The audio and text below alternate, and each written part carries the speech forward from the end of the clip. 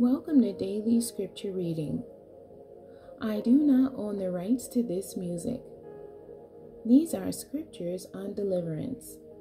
Deliverance, the action of being rescued or set free.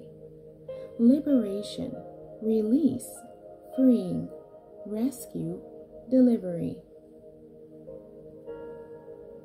I will read the King James Version first and then the Amplified Version of 2 Samuel chapter 22 verse 2.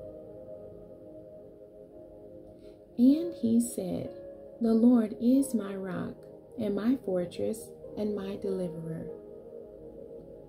The Amplified Version of 2 Samuel chapter 22 verse 2.